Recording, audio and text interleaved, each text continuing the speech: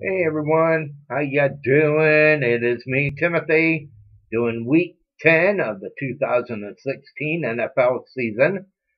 The Kansas City Chiefs travel to go play the Carolina Panthers in Carolina.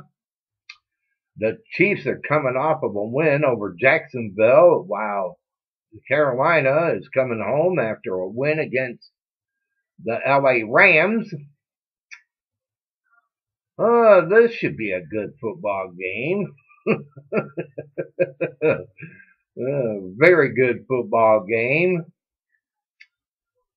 Uh, but I am got to go with the Kansas City Chiefs over the Carolina Panthers in this one.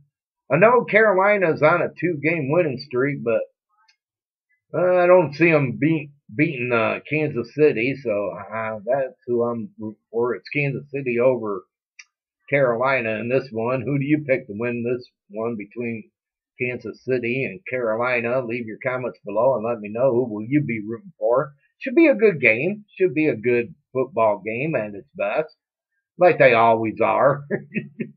Keep you at the edge of your seat throughout the game. But yeah, it will be the Chiefs over the Panthers.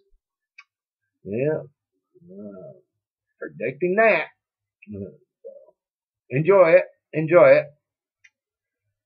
Well, everyone, I want to say thanks for watching, and y'all take care and have a good one. And, and like I say, enjoy the game.